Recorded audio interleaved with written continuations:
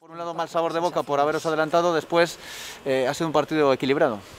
Sí, bueno, como dices, nos vamos un poco fastidiados, ¿no? Un poco con ese, con ese mal sabor de boca porque, porque lo teníamos en carrera del partido, eh, nos habíamos adelantado y faltaba poco tiempo y la verdad que, que bueno, nos marcan ese gol, ese gol eh, al, al, final del partido, faltando pocos minutos y luego intentamos, intentamos darle la vuelta, pero ya, ya, ya no ha quedado tiempo y bueno, el partido queda en empate, creo que, creo que es un punto al final positivo contra un gran equipo y, y a seguir para la semana intentar sumar de tres en tres. Yago, a nivel personal, ¿cómo, cómo te has visto? El primer día en ese 11 titular, ¿cómo calificas la experiencia?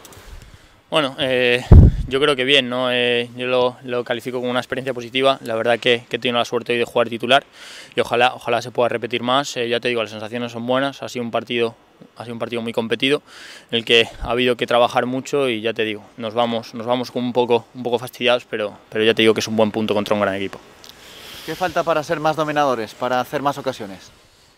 Bueno, eh, venimos, hablando, venimos hablando de eso, ¿no? venimos eh, trabajando en, en, la parcela ofensiva que, que, somos conscientes que a lo mejor es, es eh, nuestra asignatura pendiente, que tenemos que, que, mejorarla un poco, pero bueno, vamos, vamos poco a poco. Yo creo que el campo tampoco estaba a lo mejor eh, tan, tan, tan practicable y, y es, un, es un gran equipo el Pontevedra, nos puso las cosas difíciles y bueno, poco a poco. Sigue igual todo, pero el equipo sigue, sigue el líder, el Pontevedra segundo, es decir, línea seráis, bueno, se puede considerar decir, positivo punto. Sí, como, como vengo diciendo, al final no, no hemos perdido, eh, eso es positivo, eh, era nuestro, nuestro más próximo perseguidor, el Pontevedra, así que, así que mantenemos la distancia, la distancia con ellos y para la semana hacer, hacer bueno este punto. Semana que viene, Yago, eh, Celta B, volvéis a casa, volvéis a Riazor, ¿qué esperáis un poco del partido? Que es un filial, que siempre son jugadores más jóvenes y que os pueden plantear cosas diferentes.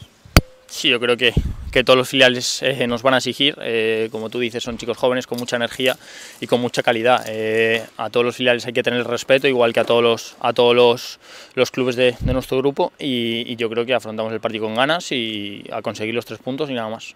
Yago, ¿cómo viviste desde el campo la jugada del gol del Pontevedra?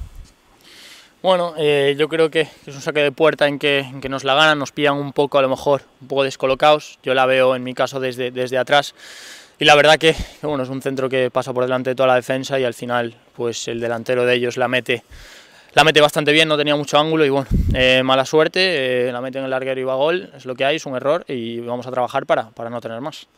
Lo que decía la compañera de que la próxima semana toca jugar contra, contra un filial, tú eres canterano, eh, te pones en la piel de, del equipo rival, es decir, luego de estar ahí pues toda la vida en la cantera, llega el momento de jugar contra el eterno rival, contra el primer equipo del eterno rival, supongo que eso esperaréis un Celta B hipermotivado, ¿no?